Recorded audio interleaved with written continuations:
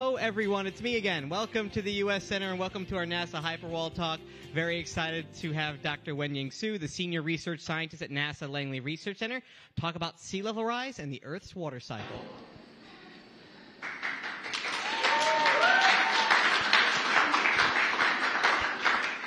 Thank you all. Uh, welcome to U.S. Center. Today, uh, I'm going to present some of the NASA observing capabilities, uh, how we track the sea level and the water cycle. So the probably uh, the most uh, uh, observable signs of the global climate change is the rising seas. So we're all here to, at the COP because the global temperature has been rising for the last few decades. And with that change, with the warming, there's a lot of uh, uh, other uh, consequences. One of those are the um, losing, losing of the sea ice, the uh, glaciers, and the, uh, the uh, ice sheets. With those water that melted, and then they are just adding the volume to the ocean, so that causes sea level rise. as the world warms, it also the water expands in the ocean. That's also causing the sea level to rise. So with the uh, NASA, we have been observing the global ocean for the last three decades.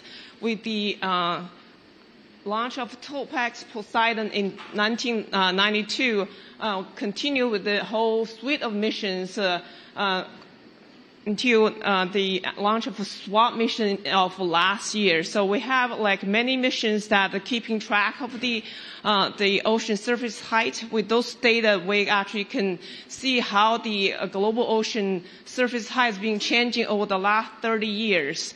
So this is the uh, graph shows the global average sea surface uh, height changing over the last 30 years. You can see from 1993 to 2022, you can see this, uh, it's very clear that the global sea level has been rising in, uh, steadily.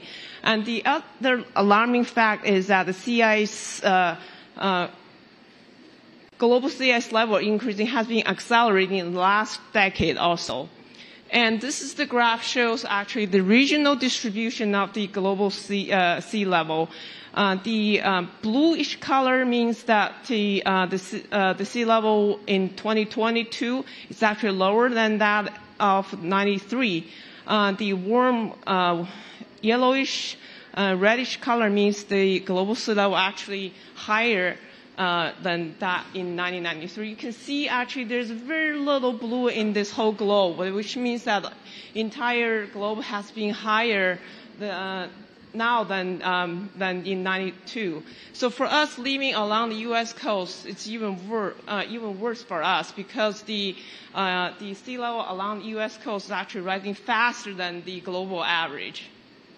So on average, uh, I have to mention that the sea level has been risen like for 10 centimeters just in the last three decades. 10 centimeters. So why do we care? What's the consequence of sea level rise? Because that's where most of us lives. I don't know how many of you are coming from the coastal region. I know this gentleman is from Hong Kong. I'm also from the coastal uh, area. So I guess at least according to the UN uh, Ocean Atlas, 44% of the world population lives within 150 kilometers of the coast. That's a lot of people, lots of people. So sea level rise means that most of us will lose our home, and also our most of the um, economic drivers are along the coast because that's where the ports are, and also the infrastructure are there. So um, I think there's eight of the uh, 10 largest city over the world is along the coast also. So that means it's a huge impact because with the sea level rise, it will be more um, storm surge, more flooding, and more mitigations needed to uh, to accommodate all this. So that's why sea level rise is really kind of affects a lot of people in many ways that we can't imagine.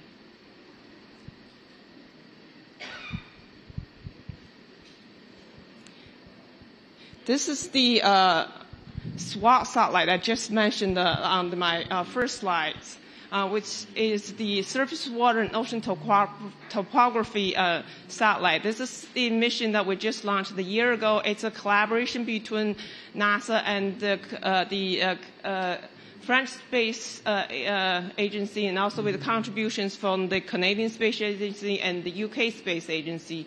It's a state-of-the-art uh, radar interferometry measurements and together with the, uh, with the um, altimeter mission.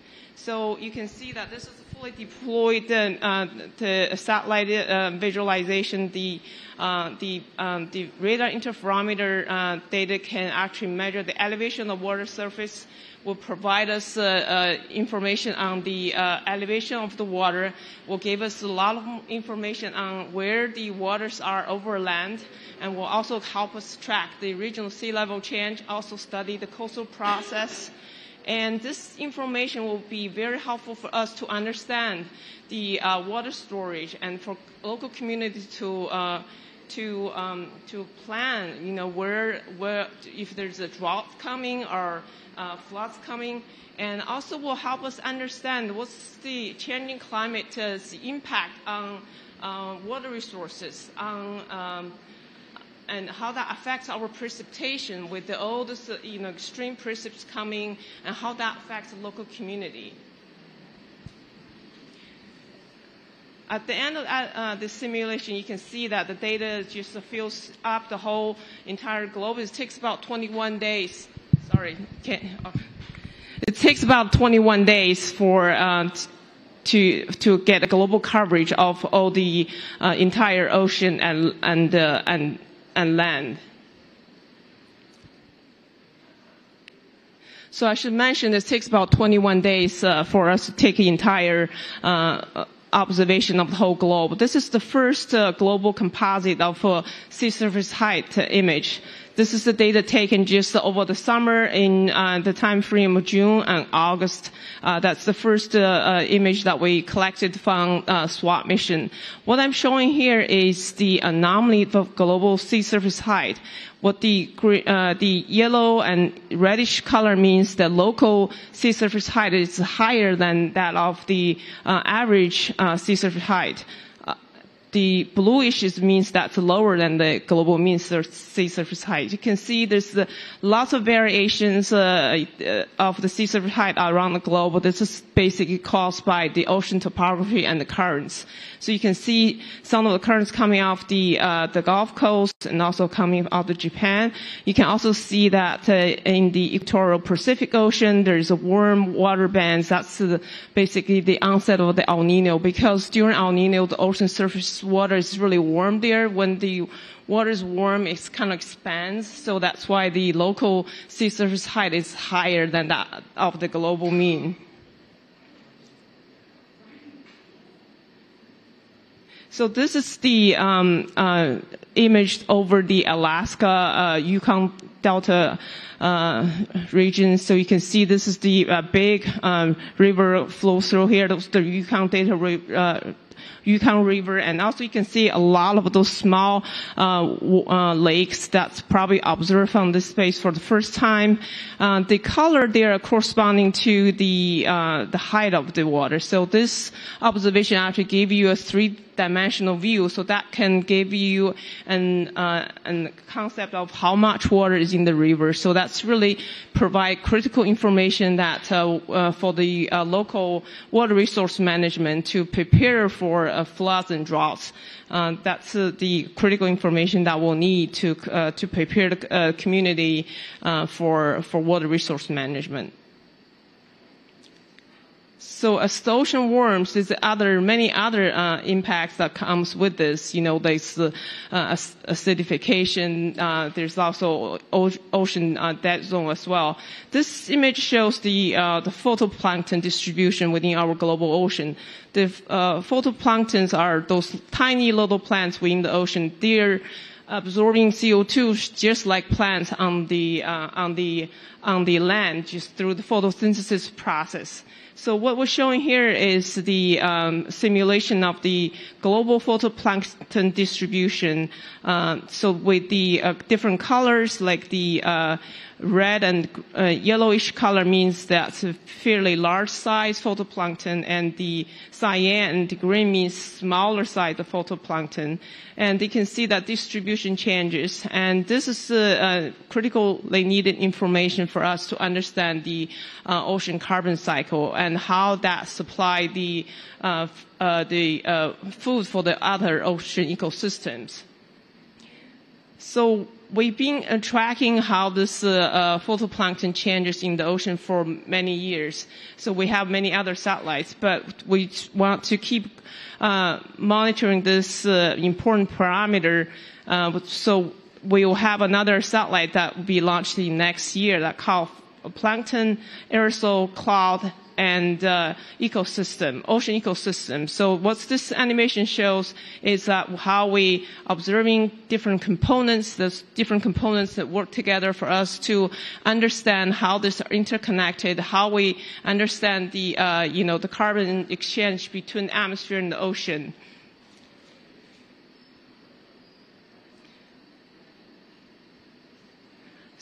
Besides the ocean ecosystem, this uh, also gave you some uh, measurements of the aerosols and the clouds in the in the entire Earth's atmosphere system, so that can this information we got can actually feed into the models that can uh, give us a better understanding of the uh, the the entire Earth's atmosphere system.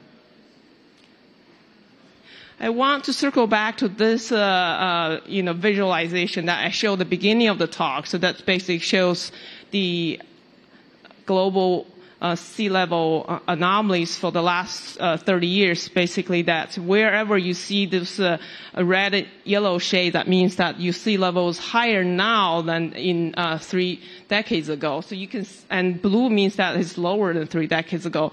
You don't really see any. I mean, you still see a little bit blue, but most of the the globe is covered in the red and yellowish shade. That means that you know we are seeing an unprecedented global sea level uh, rise. Uh, like I mentioned, that's on the average about 10 centimeter in the last three decades.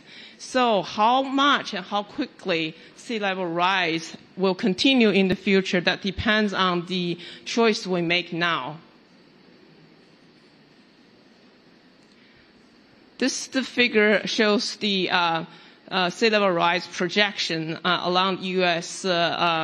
Contiguous U.S. coastlines. So the dashed line down here uh, is from 1920 to uh, 2020. That's uh, based on the uh, observation.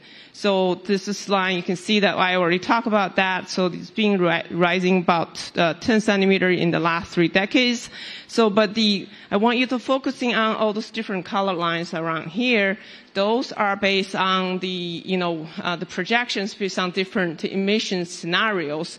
Depends on how much, uh, CO2s or the other greenhouse gases we're going to keep pumping into our uh, atmospheres, and your global sea level rise is, is on a very different trajectory uh, along 2100. So on the graph on the uh, on this side, so basically that's uh, give you a summary of uh, what's the um, projected sea level rise depends on different global uh, warming levels along the U.S. coastline. So basically, if you have a two degree C warming levels uh, in 2100, the um, the sea level will be about two to three feet higher along the U.S. coast uh, compared to what we have in 2000.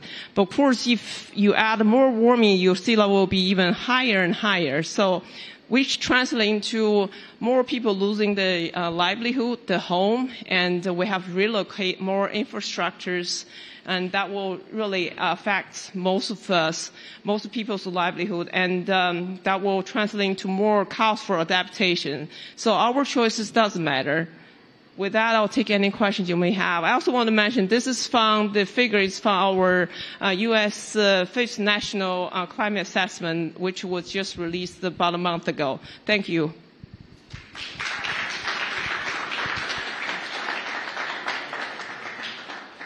Do we have any questions?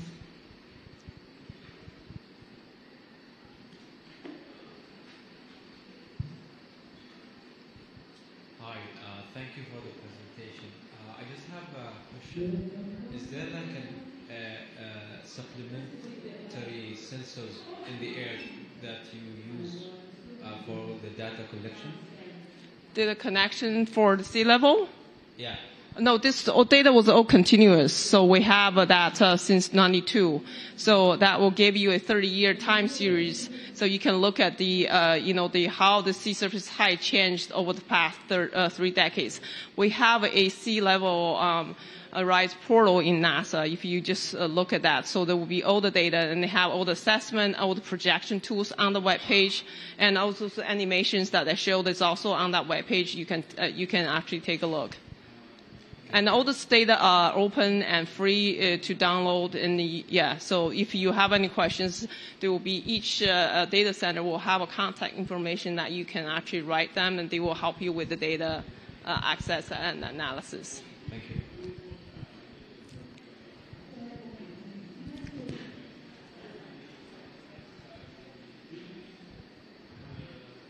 Well, thank you very much. Uh, pretty novice at this, so I'll ask a silly question.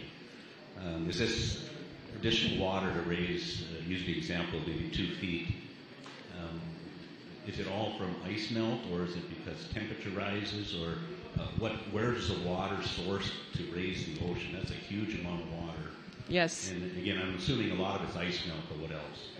Yeah, so there's uh, two, uh, mainly two factors. Uh, one thing is uh, the because the, you uh, you warm the uh, the earth, right? So you ice sheets melting, your glaciers disappearing, your sea ice is also disappearing. So those melted waters adds to the ocean, right? So if you just pour a bucket in your pools, you know, in your whatever containers, and then you, your water level will increase. That's one factor. The other factor is when you heat up the water, because uh, the, as the world warms, the ocean actually take up most of the heat. 93% of the the uh, the uh, the, the uh, global warming is trapped in the ocean. So the as the ocean warms and it also expands, that actually also uh, lift up the ocean. So I think the uh, relatively speaking, about two thirds the uh, sea ice uh, level, uh, sea, sea, level rise is coming from the melting of those glaciers and sea ice, and about one third is coming from the thermal expansion of part. Thank you for that question. A couple of questions. First, do you, do you know why um, sea level rise seems to be more prevalent along the U.S. coast? And then also, I was just noticing that a lot of those data are in bands uh, along around the Earth, but what what impact would the change in ocean currents have on this? Because ocean currents go, you know, all around, but most of the data looked like it was in bands. So. Okay, so first question is uh, the you, you can you repeat first question? Yeah, why do you think that um, the, the sea level rise is more prevalent Oh, okay. So that has a lot to do with the with the ocean currents as well. So because you know, like it has to do uh, once, for example, like a redistribution. You know, the gravity redistribution was so like, for example, the um, melting of the uh, the uh, Antarctic ice sheets actually have more impact on, along the U.S. coast. That's because of the the uh, redistribution of those masses, and then the uh, the figure I think if you I'm remembering what you uh, saying is the one that uh, from the first from the first uh, uh, SWOT mission, that's like the uh, the sea surface height anomaly. That's not a long-term change. That's just like a, a, change, for example, where you have ocean topography and the currents. That's like uh, uh, where you uh, those bands are. You have higher water sea sea, uh, sea surface height than the global average. That's not like a time series change. It's more like a relative to what's the global average of that three weeks. So that also has something to do with the currents and ocean topography. And also where you have those uh, El Nino, La Nino. So El Nino is basically the regional warming of the uh, the equatorial Pacific. That's uh, along the, the, the east, eastern part. So that's also when I mentioned when the water warms that actually expands. So that's also have the local sea surface height is higher than uh, you know the rest of the ocean. Thank you. Mm-hmm. Any other questions?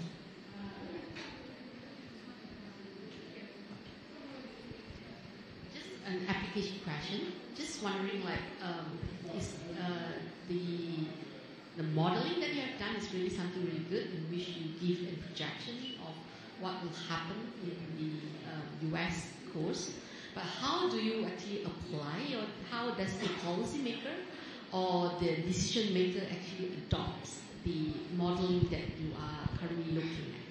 Yeah, thank you for that question. Yeah, so that's a um, very good question. So that's all. This is a, we have a call something called interagency uh, sea level rise task force within the U.S. So this uh, projections and then uh, what I'm showing here is just sort of like the average along the uh, contiguous U.S. coastline. But we also have regional maps. So this is maps that are actually very useful for uh, adaptation, right? For future planning, where you put your infrastructure, right? So that's uh, like if you're like within if like, for example, we're seeing that there will be high um, tidal, right, and high flooding possibility, so you probably don't want to put your next infrastructure there. So there's been uh, uh, lots of uh, collaboration with the local communities and uh, for planning uh, where, you know, you put your next uh, infrastructures, for example. Thank you. Do we have any more questions?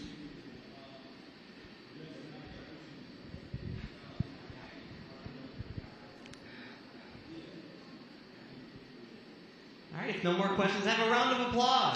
Thank you.